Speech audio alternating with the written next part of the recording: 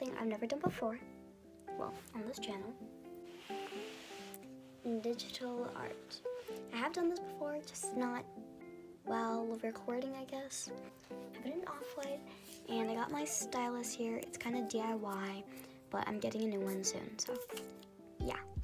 I just didn't want like the pen part to be bugging me, bugging you, bugging the quality of this video. Let me first explain what I'm doing today. I'm going to be making a character for every single color of the rainbow. So I'm just gonna get started. Skip to voiceover me. Okay, hi. So I'm basically just gonna start with a little sketch here and then move on to figuring out how to incorporate the first color, red. So I just drew a little bunny, but it's no ordinary bunny. It's a straw bunny. So I just gave her a little bandana as a cute little accessory, and I am not going to lie, this freaking light gave me so much trouble. So I just added a layer and got started with the outline. And I remember during this entire process, I was thinking, what the heck am I gonna say in this voiceover? So, yeah. I feel like she's a shy little bunny. What I mean is like, bunnies always give me a soft, cozy vibe. Maybe she's an artist. Yes, a bunny artist. What kind of art would she make?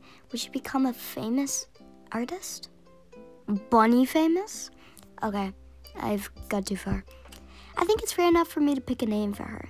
After all, I already have an entire backstory. Per. Er. Persephone. Persephone the bunny. Oh, boom! Now we're already on to the coloring. Wow! So I'm just gonna color in her little hat leaf green and color in the rest of her a pretty pink. And yes, I know that this is pink, not red, but that's what I prefer my rainbow to be like. My preferred rainbow is um, a pastel rainbow. Yes, a rainbow of beautiful pastel colors. So this is going to be like a light pink and a dark green. That's my favorite combination. So now I'm done with that. I'm going to move on to the little bandana. So I think that I actually went for a really orangey red the first time. So after changing that, I added this little pattern and it ended up being really cute. It's missing something. So I added some shadows so it actually like kind of contrast, I guess. And actually it ended up being way better. And I added this little thing on top, but then I realized it was stupid. Okay, here she is. I think she is so cute. Look at that little face of her. Persephone the bunny. Um, back to voiceover me, please. Here we are with the second one. This one is going to be orange themed, and if I'm being honest, this one is actually my favorite one of the entire thing of things that I did today, if that makes any sense. So, he's basically a squirrel, okay? And he is very protective of these so called nuts that he found. Now, they're not actually nuts, alas, they are oranges. And he does not know that. But you may be asking, why are the oranges so small? Well, the real thing is that they're not. It's because they're cuties. Cuties are his favorite thing to collect, but he does not know that they are cuties. So he's basically very protective over these and will destroy anything or anyone in his way to get to them. So he has a very serious expression on his face because he is committed to his job.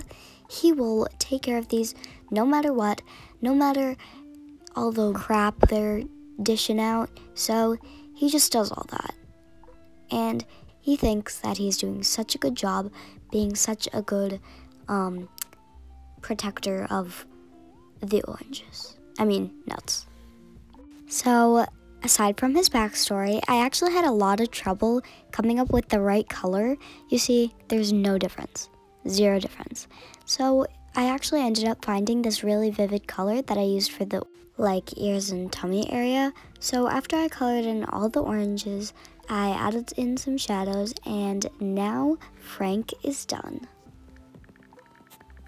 Okay, I'm back. We finished Frank. So my last one, obviously yellow because that's what comes next in the rainbow. So at this point I was getting a bit tired. As you can see the lighting is different and it has changed. So I ended up going with a duck for this one because I don't know, I was going to do a bear that was holding like honey, but it appealed to me. So yeah, I was struggling to come up with things to make this yellow. But I eventually settled on a little piece of cheese. Maybe he stole it from someone. I don't know where it came from. But he ended up with a little piece of cheese in his mouth. Maybe he's just so sneaky and he just takes a lot of things from people. Cause you know that's how that's how ducks are. They they take your things. They take your they take your cheese without you knowing. So after I was happy with that, I added some little stink lines because maybe the cheese is old. Maybe that's why he took it. So I went over it and I just did the inking process. You already know, and so let's just skip to the coloring. Bam! What? Oh my gosh, we're already here at the coloring thing, the coloring doohickey thing. Yeah, I was, I'm, I'm tired, okay, guys? So I just ended up coloring his little beak like this pretty orange that I used for the squirrel. Sorry, Frank. And I colored him yellow. It was actually hard to find the right shade of yellow, surprisingly. It always ended up like looking really orangey, but that's what I ended up using for the shadows.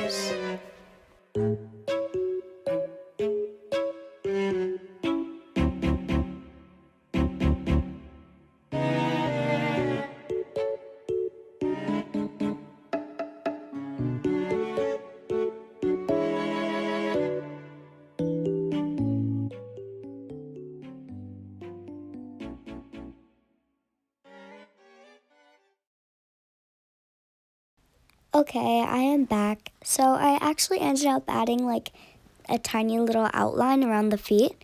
And I thought that ended up looking really, really cute because I couldn't really make a thick outline because his feet are the size of the outline. Adding some shadows and we are done. Now let's give him a quick little name.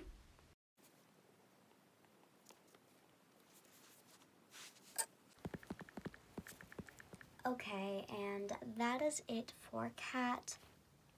He is very sneaky. He loves to do a lot of things, like steal people's cheese. Like, the lighting has completely changed from the last time, so let me just... Okay, I just turned on the lamp, so it's kind of like shadowy, I guess that is going to be it for today's video. Thank you so much for watching, and I hope you have an amazing day. Bye!